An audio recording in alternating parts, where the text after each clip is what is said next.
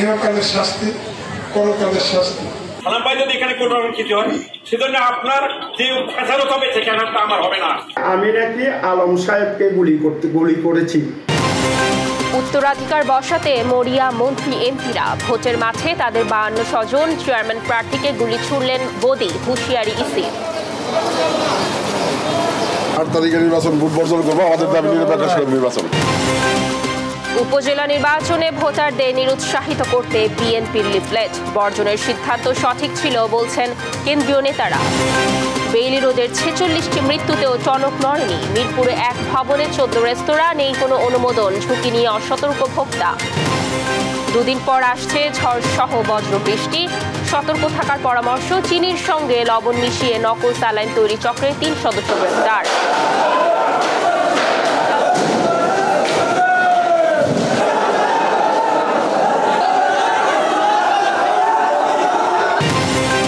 এবং বহিরাগতদের হামলার জেরে বরিশাল বাস টার্মিনাল রণক্ষেত্র।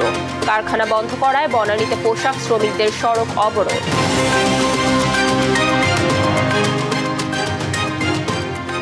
সংবাদ রাতে দেখছিলেন একেএস টিএনটি বার সংবাদ শিরোনাম। সঙ্গে আছি আমি কানিজ লাবণী উপজেলায় উত্তরাধিকার বসাতে মরিয়া আওয়ামী লীগের নেতারা। স্থানীয় সরকারের এই নির্বাচনের তিন ধাপে চেয়ারম্যান পদে এমপি মন্ত্রীদের স্বজন প্রার্থী হয়েছেন। বান্ন জন। আওয়ামী লীগ নেতা ও মন্ত্রী এমপির স্বজনদের কারণে অনেক প্রার্থী কোণঠাসা নির্বাচনের মাঠে বিশেষজ্ঞরা বলছেন, দেশের নির্বাচন ব্যবস্থা নির্বাচনে গেছে আর নির্বাচন কমিশনের হুঁশিয়ারি। অতি সুবিধাভোগীরা প্রভাব খাটালে ব্যবস্থা নেবে কমিশন। কাজী শাহেদের রিপোর্ট। উপজেলা নির্বাচনের প্রথম তিন ধাপে মন্ত্রী এমপিদের অন্তত বান্ন জন স্বজন চেয়ারম্যান পদে প্রার্থী হয়েছেন। তিন ধাপের নির্বাচনে অন্তত নয়জন সন্তান চেয়ারম্যান প্রার্থী প্রার্থী আছেন, একজন এমপির বাবা ও আরেকজনের স্ত্রী। প্রার্থী হয় এগিয়ে শ্যালক, ভাই, চাচাতো ভাই, ভাতিজার তালিকা দীর্ঘ। দুইজন বিনা প্রতিদ্বন্দ্বিতায় জয়ী হওয়ার পথে। স্বজনদের বিজয়ী করতে মাঠে নানা তৎপরতা চালাচ্ছেন সাবেক ও বর্তমান এমপিরা। ভোটের পরিবেশ অনুকূলে নিতে চলছে হুমকি, গুলি। সঙ্গে থেকে, এই শাস্তি ভোগ করার দরকার নেই। শাস্তি, পরকালের শাস্তি। সালাম ভাই যদি এখানে কোনো রকম কিছু হয়, সেজন্য আপনার যে খেসারত হবে সে খেসারতটা আমার হবে না। আপনার যে খেসারত হবে, সেখানে আমরা যারা বসা হবে না। তারা বলা বলি করছে, আমি নাকি আলম সাহেবকে গুলি করতে, গুলি করেছি। আমার প্রশ্ন হলো, সেখানে তো গুলি করার মতন কোনো ঘটনা নাই।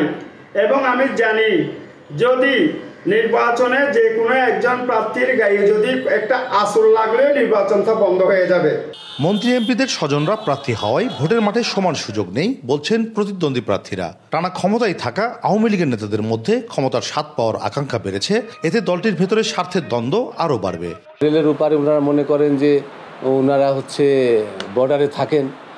সেই হিসাবে কিছু নিরীহ লোকজন যারা আমার ভোট টোট করতেছে তাদের দেখা টাকা হলে হুমকি ধামকি একটু আছে আওয়ামী লীগের সভাপতি তার ভাইকে জেতানোর জন্য ওই সেই পুরানো কথা যে দশটা হন্ডা দশটা গুন্ডা এটা প্রভাব বিস্তার করে উনি নির্বাচনকে প্রশ্নবিদ্ধ করছেন। আমাদের নির্বাচন নির্বাচনে চলে গিয়েছে দুর্ভাগ্যবশত। তো এখন এই এই অবস্থা থেকে পরিত্রাণ পেতে হলে আমাদের রাজনীতিবিদদেরকে তাদেরকে চিন্তা করতে হবে যে তারা জাতিকে কোথায় নিয়ে যেতে চায়। তবে মন্ত্রী এমপিদের উদ্দেশ্য করে কমিশন বলছে উপজেলা নির্বাচন হবে প্রভাবমুক্ত। অতি সুবিধাভোগী ব্যক্তিরা প্রভাব খাটালে কমিশন প্রয়োজনে ব্যবস্থা নেবে। ওনার পছন্দ মাফিক যে ক্যান্ডিডেট তার প্রতি একটু মানে কি বলে এটাকে নেক দৃষ্টি দেওয়ার চেষ্টা। আমি শুধু অনুরোধ করব ওনাদেরকে ওই সমস্ত পদে যারা আছেন আপনারা কাইন্ডলি আপনাদের জায়গায় থাকেন। আপনি এলাকার ভোটার আপনি আসবেন ভোট দিয়ে চলে যাবেন। দেশের ষষ্ঠ উপজেলা পরিষদ নির্বাচনের প্রথম ধাপের ভোট আট মে। কাজী শাহেদ দেশ টিভি, রাজশাহী। দর্শক শিরোনামে যেমনটা জানাচ্ছিলাম, বহিরাগতদের হামলার জেরে বরিশালের নথুল্লাবাদ বাস টার্মিনালে দুপুরের পর সন্ধ্যা থেকে থেমে থেমে চলছে সংঘর্ষ। সেখানকার সর্বশেষ পরিস্থিতি জানাবে এই মুহূর্তে যুক্ত হবেন আমাদের সহকর্মী শফিক মুন্সি। শফিক সেখানকার সর্বশেষ কি তথ্য রয়েছে আপনার কাছে? কেমন পরিস্থিতি দেখছেন? দর্শকদের জানাবেন।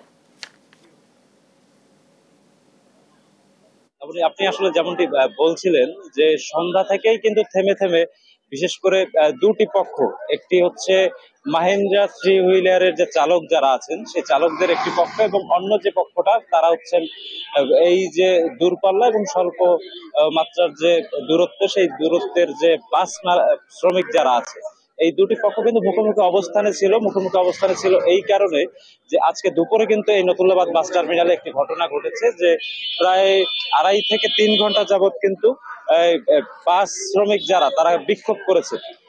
তো ওই বিক্ষোভকালীন সময়ে এই মাহিন্দ্রা চালক যারা আছে, তারা কিন্তু যাত্রী পরিবহন করেছে। এই ধরনের একটা দোষারোপ আসলে এই মাহিন্দ্রার চালক আছে, তাদের উপর দিয়ে সন্ধ্যা সাতটা থেকে সাড়ে সাতটার মধ্যে এই নতুল্লাবাদ বাস স্ট্যান্ডের লাগোয়া যেই মাহিন্দ্রা স্ট্যান্ডটি আছে, সেই স্ট্যান্ডে পার্ক করে রাখা প্রায় অনেকগুলো মাহিন্দ্রা কিন্তু ভাঙচুর চালায় এই পরিবহন শ্রমিকরা।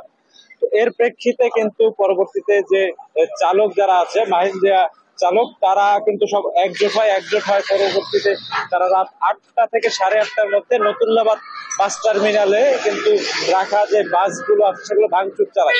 এবং ওই সময় কিন্তু একটা রণক্ষেত্র অবস্থা আসলে ছিল। পরবর্তীতে পুলিশ আসে, পুলিশ পরিস্থিতি নিয়ন্ত্রণে নেয় এবং তারা নিয়ন্ত্রণে নেওয়ার জন্য কাদানে গ্যাস নিক্ষেপ করে লাঠিচার্জ করে এবং পরবর্তীতে এখন যে অবস্থাটা দেখা যাচ্ছে, এখন কিন্তু বাস চলাচল না করলেও কিন্তু সড়ক এই যে যে সড়কটি আছে নতুল্লাবাদ বাস টার্মিনালের সম্মুখে, সেই সড়কটি কিন্তু খুলে দেওয়া হয়েছে এবং সড়কটি থেকে কিন্তু দেখা যাচ্ছে যে রিক্সা এবং মোটরসাইকেল চালিয়ে যাত্রীরা যে যার মতো আসলে যাওয়ার চেষ্টা করছে।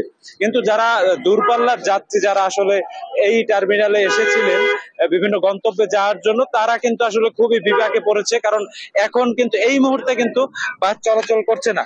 তবে আমাদেরকে কিন্তু এই পুলিশ প্রশাসন থেকে জানানো হয়েছে যে তারা এই বাস মালিক কর্তৃপক্ষের সাথে কথা বলেছে এবং বাস মালিক কর্তৃপক্ষ জানিয়েছে যে তারা কিন্তু বাস চলাচল স্বাভাবিক রাখবে। একই সাথে মাহিন্দ্রা পরিবহন যেগুলো আছে, সেগুলোর যে মালিক আছে, তারা কিন্তু আমাদেরকে যেটা জানিয়েছে যে তারাও আসলে যদি পরিস্থিতি স্বাভাবিক হয়ে যায়, তারা যদি নিরাপদ বোধ করে, তবে কিন্তু তারাও আসলে তাদের যানবাহন চালাবে। তো এই পরিস্থিতি আসলে নিয়ন্ত্রণে নেওয়া এবং যে বাস মালিক পরিবহন মালিক এবং একই সাথে যে আহ, মাহিন্দ্রার মালিক আছে তাদেরকে আসলে সমঝোতার মাধ্যমে আসলে এই নতুল্লাবাদের পরিস্থিতিটা ঠিক করার জন্য কিন্তু বরিশাল মেট্রোপলিটনের পুলিশ যারা আছেন তারা কিন্তু কাজ করছেন। এই ছিল নতুল্লাবাদ বাস টার্মিনাল থেকে আমার কাছে এই শ্রমিক সংঘাত শ্রমিক সংঘর্ষের সর্বশেষ খবর।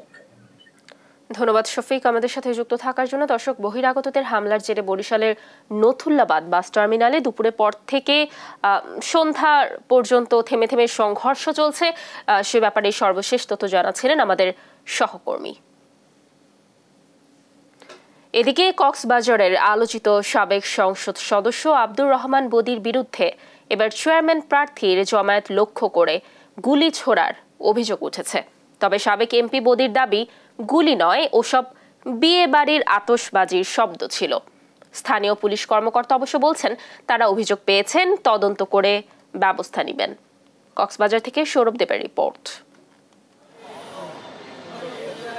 উকিয়া টেকনাফের যে কোনো নির্বাচন মানেই সাবেক সংসদ সদস্য আব্দুর রহমান বদি থাকেন আলোচনায়। প্রার্থী হিসেবে নয়, নিজের আধিপত্য ধরে রাখতেই তিনি নিজের পছন্দ মতো প্রার্থীকে জিতিয়ে আনতে নানান কর্মকাণ্ডের অবতারণা করেন।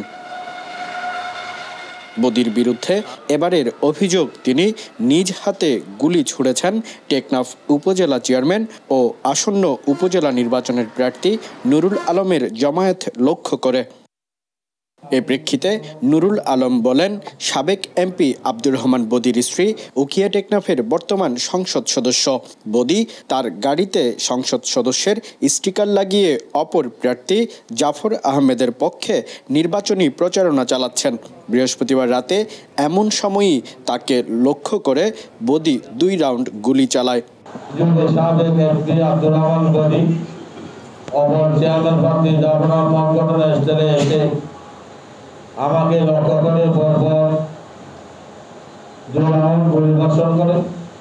কিন্তু কৌশলগত কারণে তা আমার গায়ে আঘাত করেনি। গুলি করা প্রসঙ্গে আব্দুর রহমান বদি পাল্টা অভিযোগ করে বলেন, নুরুল আলমের লোকজন হোয়াইকং ইউনিয়ন ছাত্রলীগ সভাপতিকে অপহরণ করেছে। এমন খবরে তাকে উদ্ধারে ছুটে যান তিনি। ছাত্রলীগ সভাপতিকে উদ্ধার করে ফেরার পথে বিয়ে বাড়ির আতসবাজির শব্দ শুনতে পান সবাই। এই আতসবাজির শব্দকেই গুলির শব্দ দাবি করছে বলে জানান বদি। কয়েকজন মোটরসাইকেল এবং লোকবল নিয়ে সেখানে তারা বলা বলি করছে, আমি নাকি আলম সাহেবকে গুলি করতে, গুলি করেছি। আমার প্রশ্ন হলো, সেখানে তো গুলি করার মতন কোনো ঘটনা নাই। বর্তমান উপজেলা চেয়ারম্যান নুরুল আলমের উপর গুলিবর্ষণের ঘটনায় একটি লিখিত অভিযোগ পাওয়া গেছে জানিয়ে টেকনাফ থানার ভারপ্রাপ্ত কর্মকর্তা বলেন, এ ব্যাপারে তদন্ত করে আইনগত ব্যবস্থা নেওয়া হবে। এই সংক্রান্ত একটা জিডি আমি পেয়েছি, সেটা আমরা জিডি করে যথাযথ বিজ্ঞ আদালতের অনুমতি সাপেক্ষে আমরা আইনানুগ ব্যবস্থা গ্রহণ করব। এদিকে এমন পরিস্থিতির কারণে আসন্ন উপজেলা পরিষদ নির্বাচনে বিরূপ প্রভাব পড়তে পারে বলে মনে করছেন সাধারণ ভোটাররা।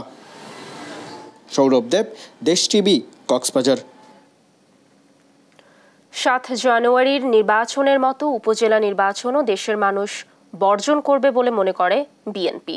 এর পক্ষে জনমত গড়তে শনিবার থেকে লিফলেট বিতরণ শুরু করেছে দলটি।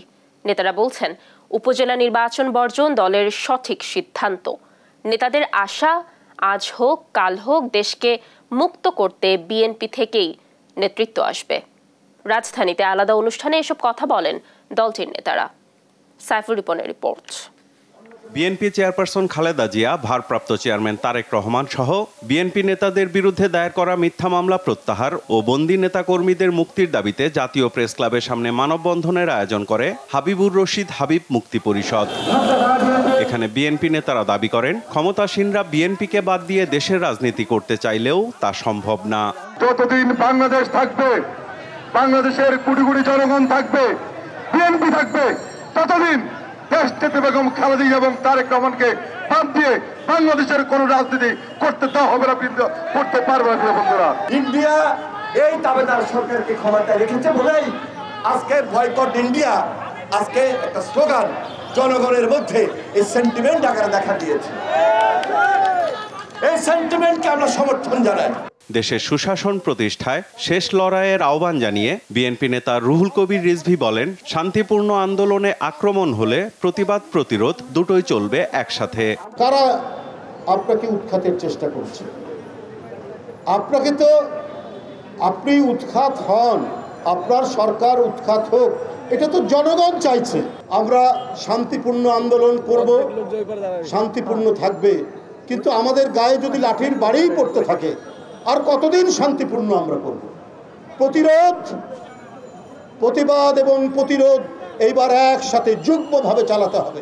দলের স্থায়ী কমিটির সদস্য মির্জা আব্বাস বলেন কৌশলে বিএনপি চেয়ারপারসন খালেদা জিয়াকে হত্যা করতে চায় সরকার। দাবি করেন বিএনপির উপজেলা নির্বাচনে না যাওয়ার সিদ্ধান্ত সঠিক। প্রিয় ভাইরা আজকে তারা বলছে দেশনেত্রী বেগম খালেদা জিয়াকে বাইরে পাঠানো যাবে না। অর্থাৎ তাকে হত্যা করতে হবে।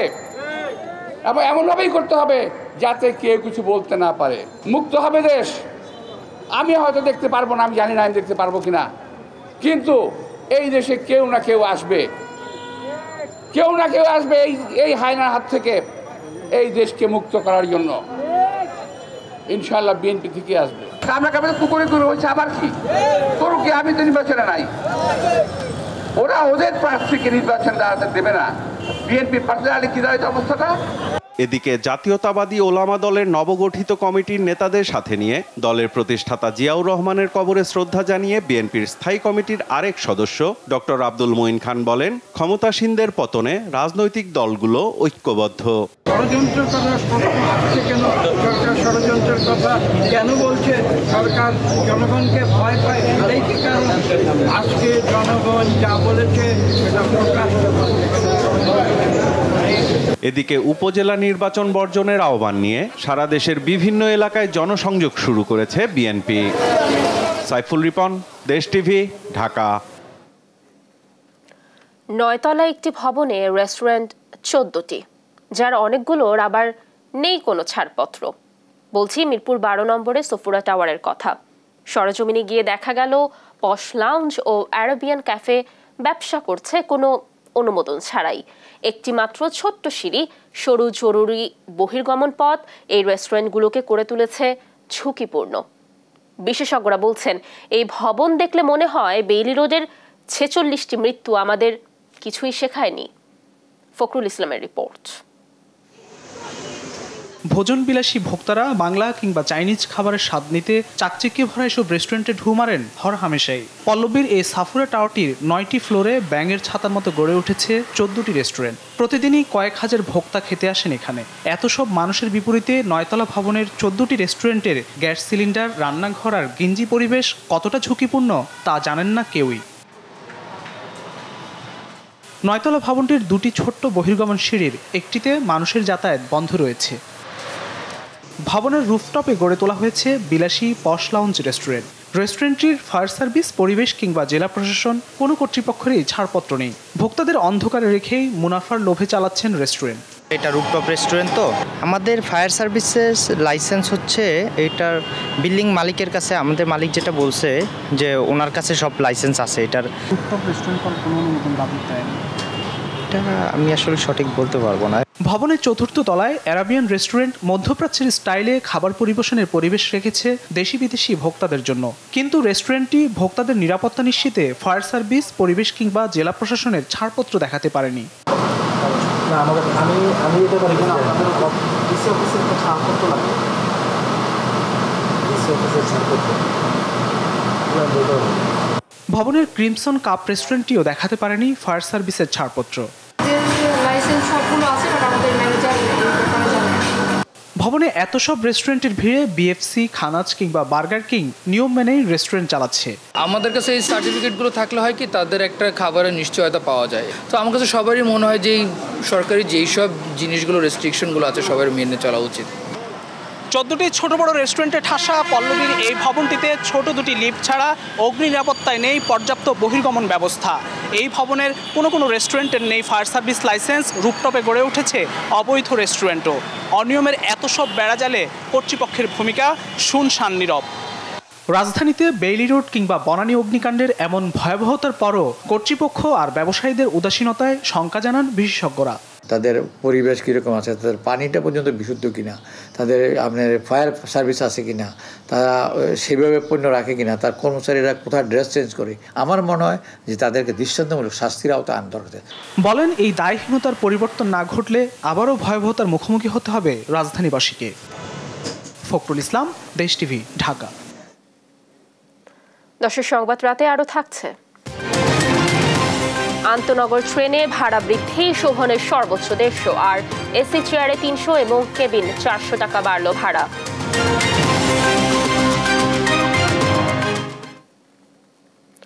দুদিন পরই কমে আসবে রাজধানী সহ সারা দেশে চলমান তীব্র তাপপ্রবাহ। পাঁচ মে থেকে টানা এক সপ্তাহ দেশের বিভিন্ন স্থানে অস্থায়ী দমকা বাতাস সহ বৃষ্টি অথবা বজ্রসহ বৃষ্টির পূর্বাভাস দিয়েছে আবহাওয়া অফিস। এ সময় বজ্রপাত নিয়ে জনসাধারণকে সাবধানতা অবলম্বনের পরামর্শ আবহাওয়াবিদদের।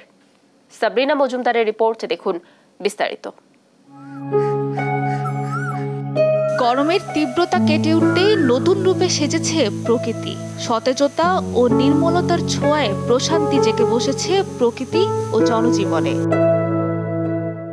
নির্মল বায়ুতে প্রাণ ভরে শ্বাস নিতে গাছের ছায়ায় বিশ্রাম নিচ্ছে মানুষ। আলতো রোদের ছোঁয়া পেয়ে ক্লান্ত পথিকের মতো ছিড়িয়ে নিচ্ছে পশু পাখিরাও। গত এপ্রিল মাস জুড়ে যে তাপপ্রবাহ ছিল, সেটি এখন মে মাসে কমতে শুরু করেছে। আর সেটির কারণে স্বস্তি মিলছে ঢাকাবাসীর। বৃষ্টি হওয়ার কারণে একটু তাপমাত্রা কমেছে। কমার পরে জনজীবনে একটু স্বস্তি আসছে।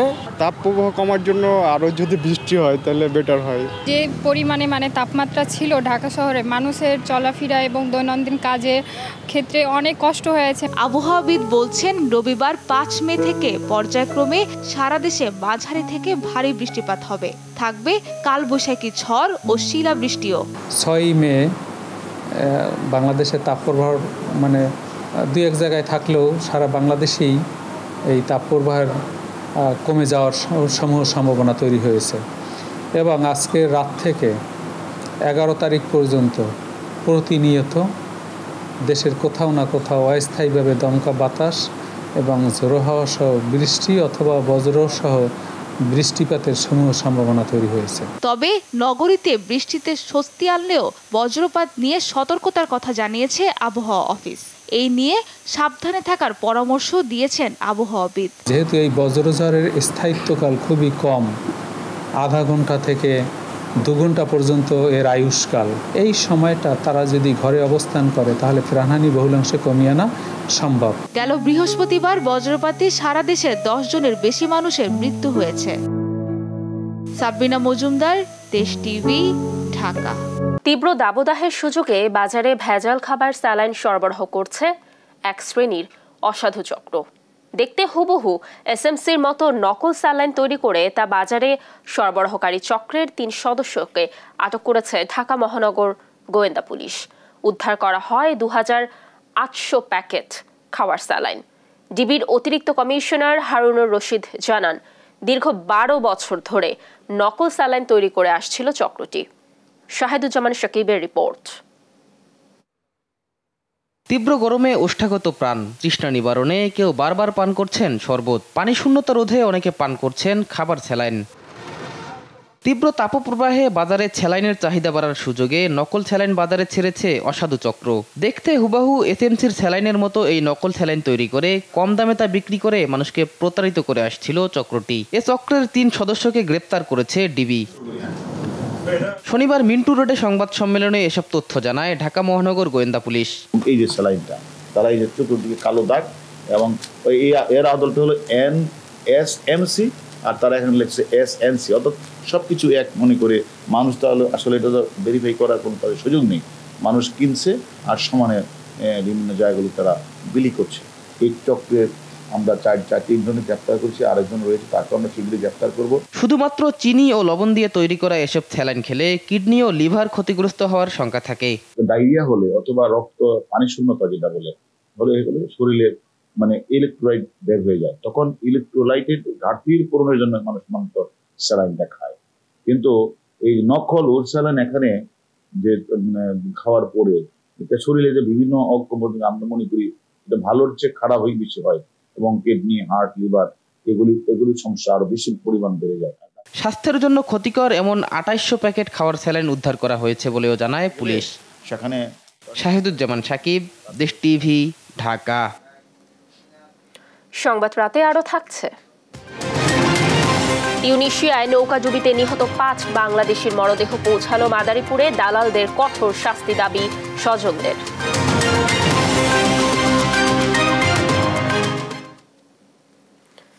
বিনা নোটিশে কারখানা বন্ধের জেরে রাজধানীর বনানীতে সড়ক অবরোধ করে বিক্ষোভ করেছে অ্যাপারেল গার্মেন্টসের শ্রমিকরা। এতে সকালে প্রায় ঘণ্টা খানেক ওই সড়কে যান চলাচল বন্ধ হয়ে যায়। এক পর্যায়ে শ্রমিকরা অবস্থান নেয় চেয়ারম্যান বাড়ির এলিভেটেড এক্সপ্রেসওয়ের নিচে। পরে পুলিশ এসে পরিস্থিতি নিয়ন্ত্রণে আনে। ফজলাদিত্যের রিপোর্ট। কারখানা বন্ধের প্রতিবাদে শনিবার সকাল সাড়ে আটটা থেকে রাজধানীর বনানী চেয়ারম্যান বাড়ি এলাকায় সড়ক অবরোধ করে বিক্ষোভে নামে পোশাক শ্রমিকরা। ঘণ্টাখানেকের জন্য সড়কের দুই পাশে সৃষ্টি হয় তীব্র যানজটের। বিপাকে পড়েন অফিসগামীরা। মূল সড়ক থেকে সরিয়ে দেওয়ার পর তারা অবস্থান নেয় এলিভেটেড এক্সপ্রেসের নিচে। শ্রমিকদের অভিযোগ, বিনা নোটিশে অ্যাপারেল নামের গার্মেন্টস বন্ধ করার সিদ্ধান্তে মাঠে নেমেছে তারা। স্যার বন্ধ করে দিবেন কেন? যে ফ্যাক্টরিতে কাজকর্ম নাই ফ্যাক্টরি বন্ধ করে দিব।